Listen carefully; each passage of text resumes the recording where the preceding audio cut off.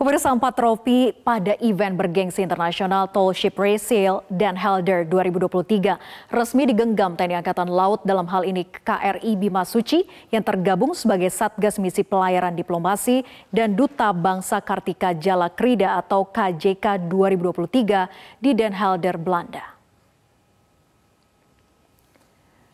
Penampilan para prajurit KRI Bima Suci dan Taruna Akademi Angkatan Laut Angkatan ke-70 pada parade kru berhasil membuat semua mata pengunjung yang hadir di sepanjang rute parade dari Port of Den Helder menuju pusat kota tak lepas memandang semua atraksi yang ditampilkan oleh personel Satgas KJK TNI AL.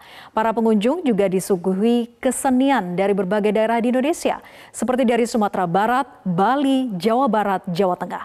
Kehadiran para prajurit Satgas KJK 2023 juga berhasil membuat diaspora Indonesia di Belanda turut merasa bangga dan mengobati rasa rindunya terhadap tanah air. Sementara itu atas penampilan yang memukau ini Satgas KJK 2023 berhasil memperoleh empat tropi yaitu The Most Spectacular Rifle Vessel Farthest from Home Port, The Best Crew Parade Marching Band, dan serta runner-up sport activity. Antusias pengunjung yang tinggi selain dikarenakan kegiatan tall ship race ini diadakan setiap empat tahun sekali.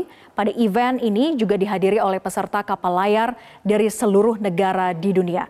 Kehadiran KRI Bima Suci menjadi salah satu yang sangat ditunggu karena merupakan satu-satunya peserta terjauh yang berhasil menempuh perjalanan hingga bisa hadir pada event internasional tersebut.